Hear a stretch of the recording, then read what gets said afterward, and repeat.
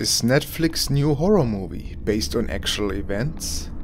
If you have been following social media over the last couple of days, you've likely heard about the Netflix movie Veronica, which is reportedly so scary that some people can't make it to the end without flipping their lights on.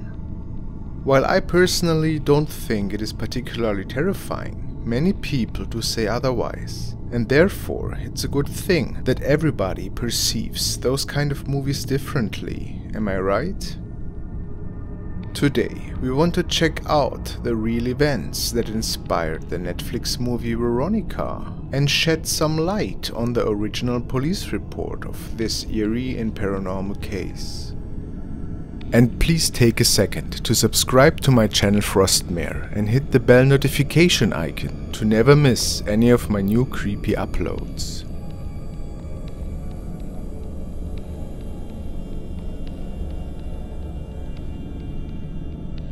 Before we take a look at the real case behind the Veronica movie, which is mostly referred to as the Vallecas case, here is a short introduction of how the whole scary plot is condensed in Netflix show. Veronica is a new horror movie directed by Paco Plaza, who is best known for 2007's zombie horror movie REC. The movie was released on Netflix last Monday and was the reason that many people were having trouble sleeping at night. After the movie starts off with an emergency call, we slowly learn about the paranormal case that took place in the residence of Veronica's family. During the many different chapters of the movie, on-screen texts assert specific addresses, times and dates in which the events on screen took place. The movie is even naming the police station in Madrid that took the initial emergency call. We are accompanied by different photographs that allegedly stem from the residence. Then we learn that the movie's story is based on the police report filed by the detective in charge of the case. At least, that is what the text reads. After this intro, the movie kicks off the plot about three days prior to the filing of the police report. Veronica, displayed by Sandra Escacena, wakes up her younger twin sisters and younger brother and makes them ready for school. She mostly takes care of her siblings all by her own, since her mom works long and late hours at a nearby diner almost every day of the week. It's a special day because today an eclipse is supposed to take place. Veronica and two of her friends plan to use the eclipse's power to fuel a ritual that they are planning on holding in the school's basement during the event. The girl wants to use a Ouija board to reach out to her deceased father, but unfortunately, the girls reach out to something else, more evil and sinister, and closer to a real demon. The being follows her home and drapes its long, spindly shadow over her whole family that she has been forced to protect. We then jump forward to June 15th, 1991, which is exactly three days after their seance. This is the night where Detective Jose Ramon Romero was called up to the home on 8 Gerardo Nunes Street in response to a phone call that was asking for immediate help. And this is the premise of the movie version. But what did really went down at 8 Gerardo Nunes Street? It is believed that the police report of the case is real Scans are available to the public online with a glut of write-ups around the 20th anniversary of what many people now know as the Vallecas case, which has been spread around many Spanish and even South American paranormal websites.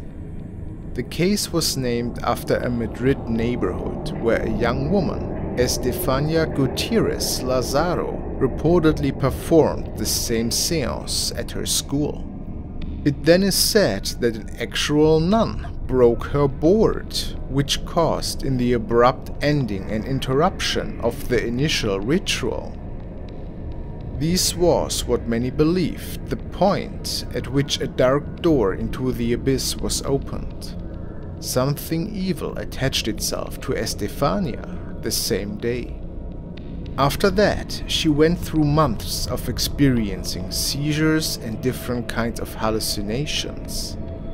What seemed to be a recurring pattern were the apparitions of dark shadows and presences were surrounding her.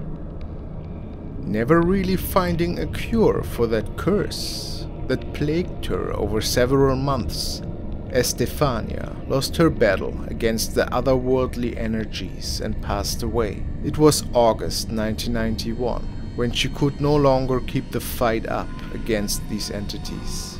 If we take a closer look at the police report, we realize that it doesn't particularly have much to do with her, but details about her possession that are very strange to say the least.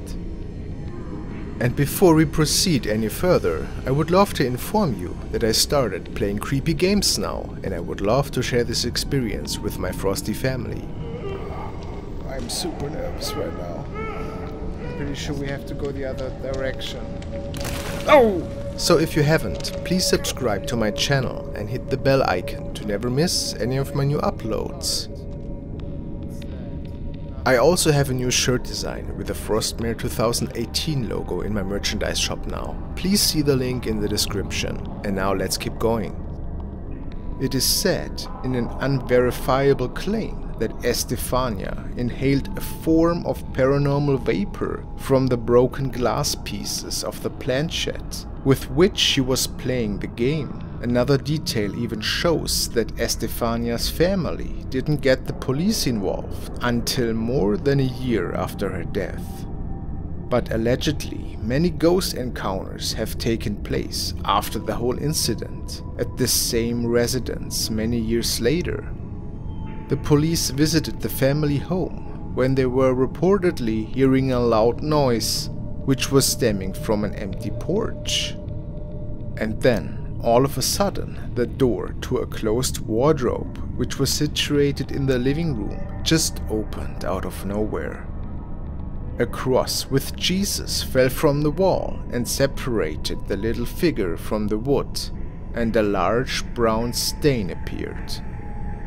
Although the police report might not appear as spectacular as the movie itself, the involved officers described the cases that transpired afterwards as a situation of mystery and rarity. A television special even investigated the case in the family home and features a demonologist and paranormal expert who caught unsettling EVPs of an entity, speaking of a grandpa.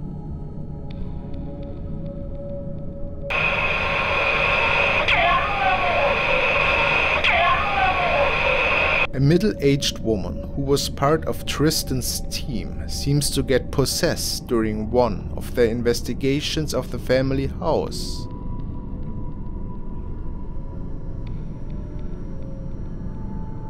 After the woman tries to make contact with the evil spirits.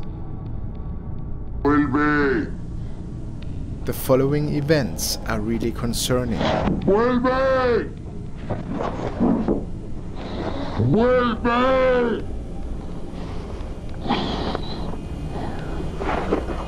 ¡Vuelve! ¡Vuelve!